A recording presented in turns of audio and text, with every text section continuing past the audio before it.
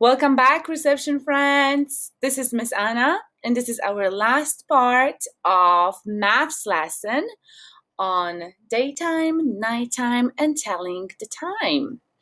Did you ever hear a grown up, maybe your parent or your grandparent, saying, Hurry up, we don't have that much time?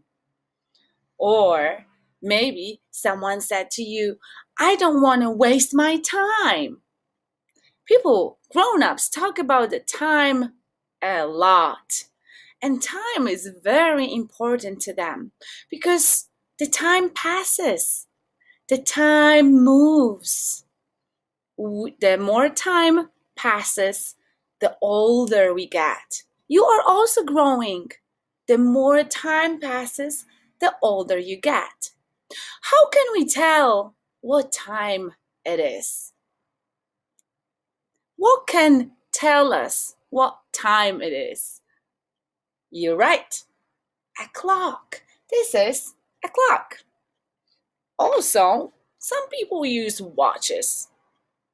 They put them on their hands so they can always check on time and see maybe they are late or maybe they have a little bit of time to just relax, rest.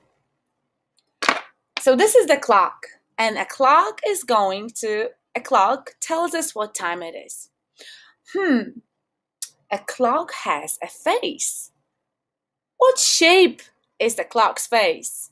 This one. That's right, it's a circle. So my clock is the shape of a circle.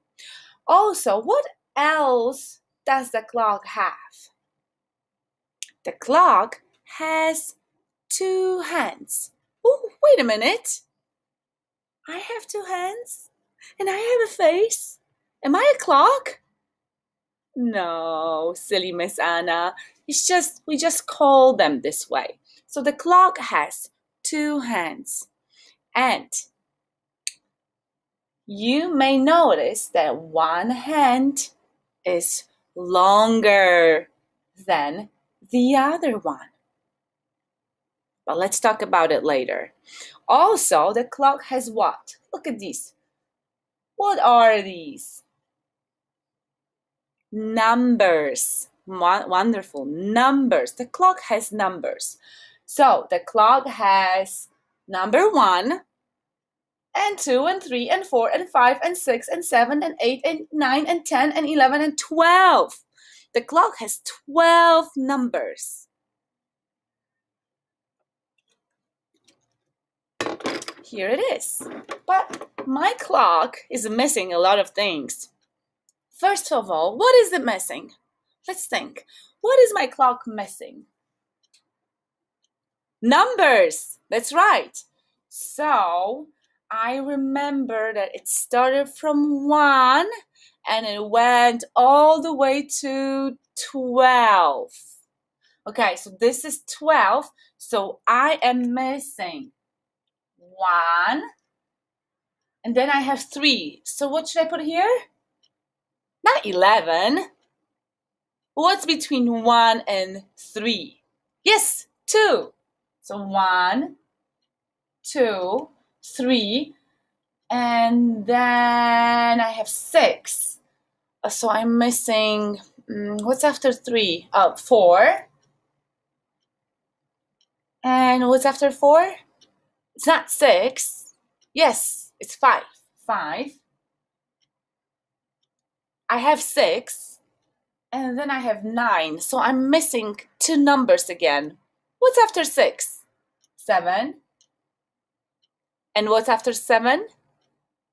Eight. Beautiful. Eight, nine, and then I have 12 and I know that's that's it. I don't need any more numbers, but I need something between 9 and 12. What's after 9? What is the next number? That's right, 10. 10.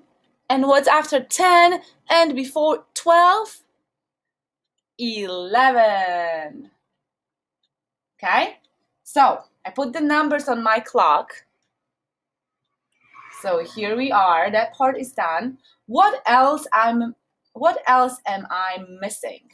What else am I missing on my clock? What are these? Hands, right, hands. And there is one long hand and one short hand. So, have two hands here. So, a long hand is going to show us minutes. Can you all say minutes? Minutes. Very good. And a short hand is going to show an hour or hours. And you probably noticed that the longer hand has a longer word.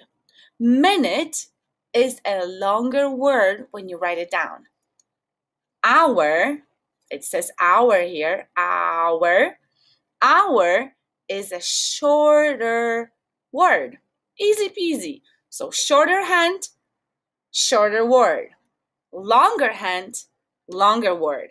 So we have two hands, and I'm going to put the shorter one first. Hmm, let's make three o'clock. So I'm going to put the short hand at three because this short hand is going to show an hour and it's going to point at the number the same as the hour is, okay? So it shows three. And every time we have a full hour, like three o'clock, four o'clock, five o'clock, six o'clock, the minute hand is going to show number 12. You just have to remember that. Okay? So my longer hand is showing number 12 and the shorter hand is showing number 3. So that means it's 3 o'clock. I'm going to write it down for you. 3 o'clock. Okay? Let's move, let's make another another hour. How about showing this one?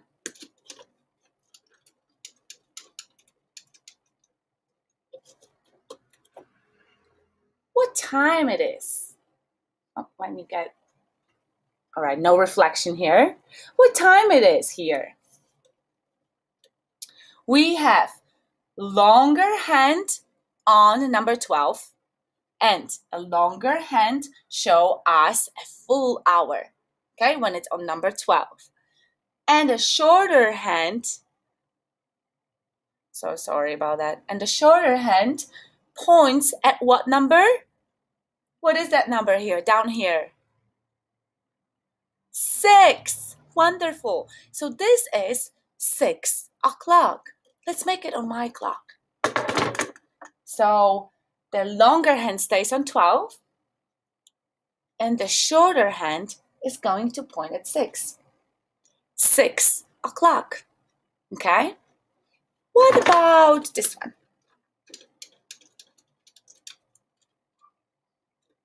This, this is also a full hour.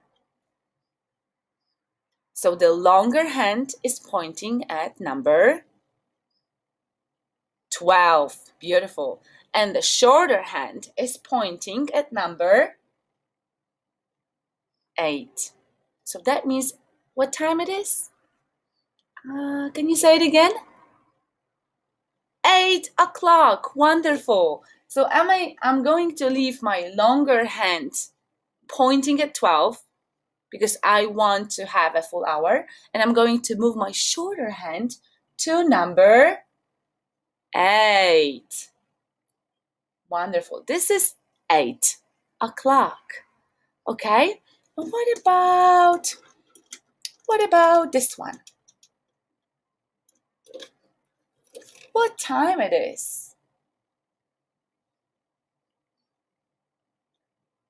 That's right. It's 10 o'clock. A shorter hand points at number 10. And longer hand points at number 12. So I should just move this one, right? To what number? To make 10 o'clock? Uh, here. That's right. To number 10. It's easy. It's really easy. You can now read the full hours. And full hour goes from, let's look at the 10 o'clock. So it's 10 o'clock, and now a full hour goes from 10, the other way, this way, goes down and down. The long hand, the minute hand, is moving down, down, down, down, down, down, down, down, down, down, and it landed at number 12 again, and that means that is 11. So between 10 o'clock and 11 o'clock is just an hour. What about between 11 and 12? This clock is showing 11 o'clock. A shorter hand points at 11, and a longer hand points at 12. Every time the long hand points at 12, you need to remember that's a full hour. So now we're going to go from 11 o'clock to 12 o'clock. So it, the long hand is moving, moving, moving down and down and down. Oh, oh, oh, oh, oh. Here it is. Do you see that? Both hands are pointing 12. Why? Don't they have enough numbers to choose from? Why are they both pointing 12? Because the long hand points at 12 and shows the full hour. And the full hour in that case is 12. 12 o'clock. Both hands point at number 12. Okay? It's great, my friends. I think I think it's very it's easy to understand and try to read the full hours in your home. Um, I I'm sure that you have a clock at home, and whenever the longer longer hand points at 12, that means it's a full hour. And now you just gotta take a look where the little hand is. Is it on number two? Two o'clock. Is it on number four? Four o'clock. Is it on number five? Five o'clock. Is it on number nine? Nine o'clock. Oops, sorry. or is it on number 11? 11 o'clock. What I would like you also to do after my lesson is to make a simple schedule of how your day looks like. It doesn't have to be super detailed and it doesn't have to be, um, you don't have to write everything. Just choose like five things that you do during the day and look what time you do them and make a schedule for me. Like we have a schedule at school. We usually would put the lesson that we are doing in our schedule so we know what's happening. So, this is how I would like you, my friends, to do it. So, I'm going to take my clock down because I don't need it anymore. Okay, you're going to start with writing your name, of course. So, we know whose schedule is that. So, I'm Miss Anna, and I'm going to write Miss Anna. Okay? I want you to draw a line from the top to the bottom. Okay? And on the left side, you're going to write the, um, the time, the full hour. Uh, and even if it's not a full hour, just pick the, the nearest full hour that you do this activity at, okay? So, for example, I wake up at 7. So I'm going to write 7. And this is another way to write uh, the time. You just put two dots here, 1 and 2. And you put 0, 0, 0, 0. 7. Oh, maybe the other 0 might be a little bit lower. 7. I get up. I wake up. So I'm going to write. G, e, t, up. Get up. If you feel that writing is too difficult or you would prefer to draw, you can draw a picture. So this is my bed. And I am, let's see, I'm here and I'm stretching. It's just I, I just got out of the bed. Okay? And I'm yawning. I have my hair. And the sun is shining outside. Okay? So seven o'clock, when we say o'clock, that means it's a full hour. Seven o'clock I get up. What do I do next? well, I eat breakfast and I brush my teeth and I get dressed, but I'm not gonna write all of it. I'm just gonna jump to another to another thing, maybe to 10 o'clock. 10 o'clock, I meet my students on Zoom. So we do the circle time. So I'm going to write circle time. Circle time. Okay. You might write it and add a picture. You might just write it or you might just draw it. I'm going to add a picture. This is my computer and this is all your happy faces that I see every morning. Okay? While we do school on the computer. It looks different um, when we are in the classroom, of course. So 10 o'clock, I meet my friends. And what else? Hmm, what time do I eat lunch? I think 12. 12. So it's 1 and 2. Two dots, zero, zero. Lunch. L, a, n, ch. Okay? I'm going to draw a plate with spaghetti and tomato sauce. Okay? And I would like you to continue till you go to bed. Try to write as much as you can because it's a good practice. Draw pictures. This is the way you write um, the time. So you write a number, two dots, and zero, zero. So seven o'clock, my friends, seven o'clock on that clock would be Time passes, time passes, and it moves and gets the sun goes down. Actually, okay, let's get it. Oh, here. So the longer hand points at number 12. That means that it's a full hour. And a shorter hand points at number 7. So this is 7. 7 o'clock, Miss Anna gets up. Hmm, circle time, we do it at 10 o'clock. So this one, this hand is going to stay at 12, but where is the little one going to go? That's right, number 10. This is 10 o'clock. And then 12 o'clock, this big hand is going to stay where it is. But the little hand is going to go up and meet the big hand at a number 12. So, my friends, this is your task for today.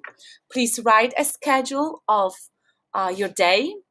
Um, write at least six things that you do during the day. Uh, don't write everything, just the um, the most important uh, things. You can add when you play, you can add when you watch TV, you can add when you do your work, uh, and also don't forget to write when you go to bed. Take a picture or ask your uh, parent or your grandparent or someone who can do it for you. Take a picture of that work and send it to your teacher. That's it for today. Um, I hope you enjoyed um, the lesson about time.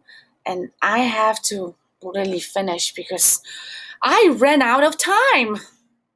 You see, I don't have any more time, any any more time. So see you see you later, alligators.